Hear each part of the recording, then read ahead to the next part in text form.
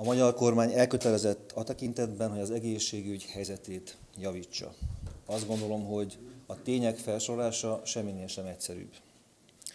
Hiszen ennek köszönhetően az elmúlt időszakban több mint 500 milliárd forintnyi fejlesztés történt ebben az országban, és azt sem hiszem, hogy sokáig kéne védenem, hogy mind az idén, mind pedig jövőre 200 milliárd forinttal több forrás kerül be az ágazatba, mint korábban.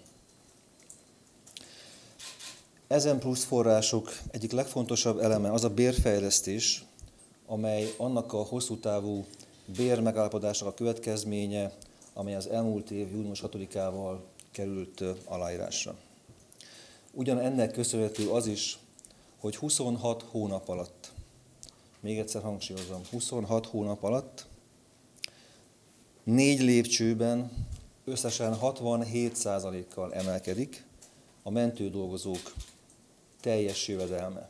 Azért mondom, hogy teljes jövedelme, mert emelkedni fog minden, az alapbér, a túlmunkadíjak és a pótlékok is.